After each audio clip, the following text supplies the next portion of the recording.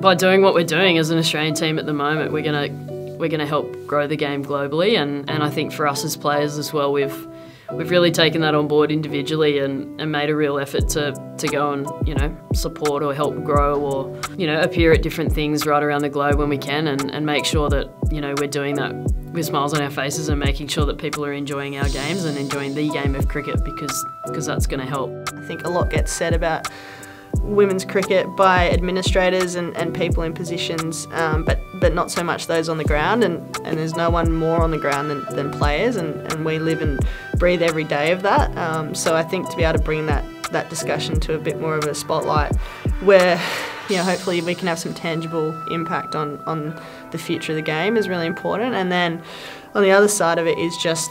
Um, working with, with everyone that we, we come across, um, you know, whether that's opposition teams or young girls, um, you know, people interested or involved in the sport and, and just collaborating and, and helping one another out.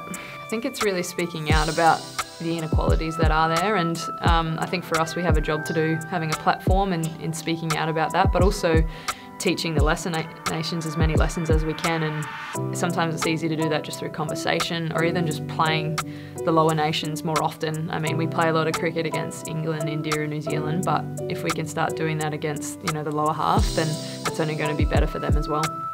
I know for me personally it's it's going and enjoying these opportunities to, to play cricket in the other in other countries. I mean, the, I've been able to go and play in the hundred. I mean, the FairBreak's on as well. Um, hopefully, women's IPL. I mean, it's a great opportunity for us as, as Australian cricketers to go and play in these domestic competitions, and, and I think that's really important for us to, to keep growing it. And cricket as a as a whole is only going to benefit.